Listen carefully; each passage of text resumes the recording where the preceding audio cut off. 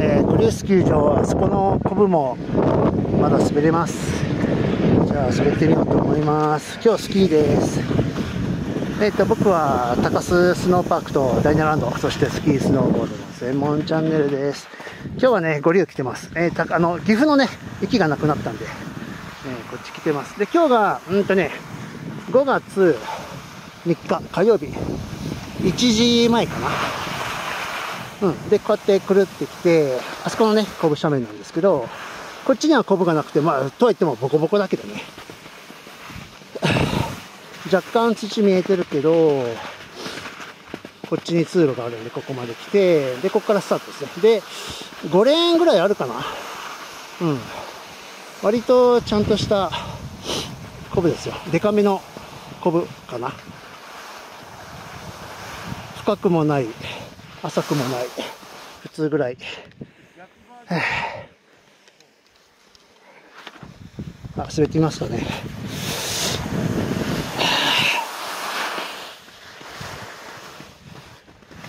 よっ。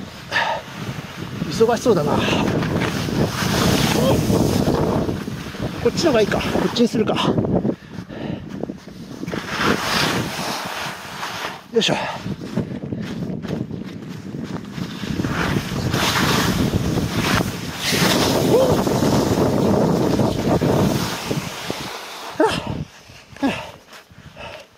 よ。ちょっと待ってね。よいしょ。よし、よし、よし。ちょっと待ってよ。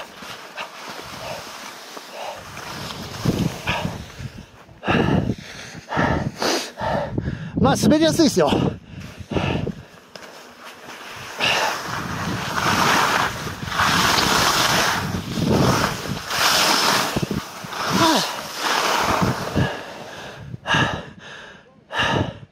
はあ、滑りやすい。はあ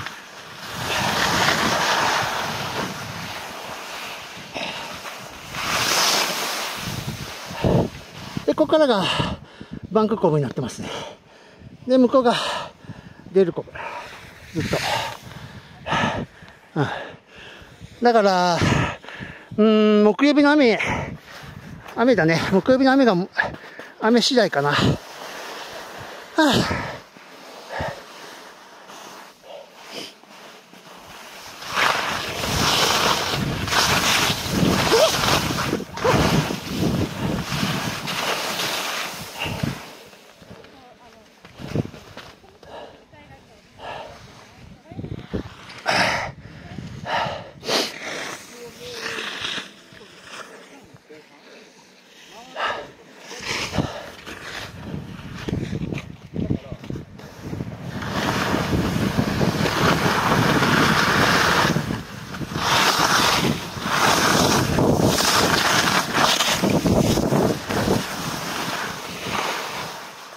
よ